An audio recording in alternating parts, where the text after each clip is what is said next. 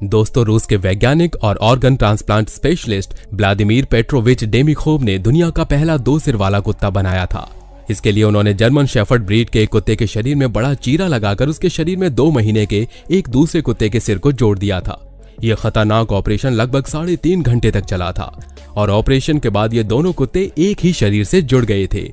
हैरानी की बात थी कि इन कुत्तों को देखने, सुनने और निगलने की प्रक्रिया में कोई बदलाव नहीं आया था। यूँ तो व्लादिमीर का ये ऑपरेशन काफ़ी हद तक सफल रहा था, लेकिन इसके बावजूद भी ये कुत्ते सिर्फ़ चार दिन ही ज़िंदा रह पाए थे। इसके बाद उन्नीस सौ अट्ठावन में व्लादिमीर ने यही ऑपरेशन एक बार फिर से किया, और इस बार ये दोनों कुत्ते उनतीस दिनों तक ज़िंदा रहे।